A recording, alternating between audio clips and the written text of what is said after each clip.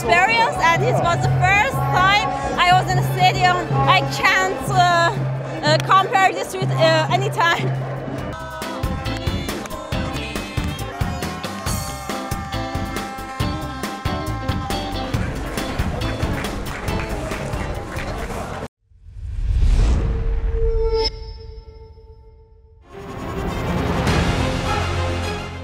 Email exchanges from inside the BBC, they talk about the risk of violating Indian laws.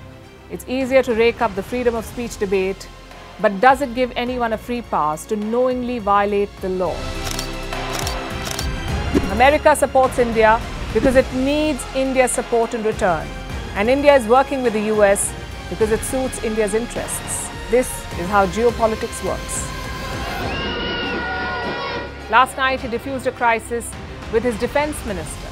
But today, Netanyahu was confronted with a new problem. His cabinet seems to have rebelled against him. The UK is looking at the Indian subcontinent to fill its coffers. That India seems to be negotiating from a position of power, like a partner and not a former colony.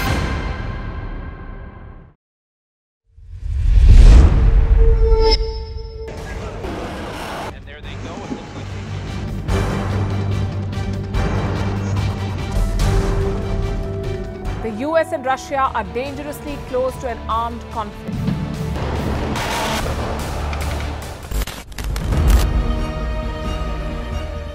This year, 2023, New Delhi will be the capital of global diplomacy.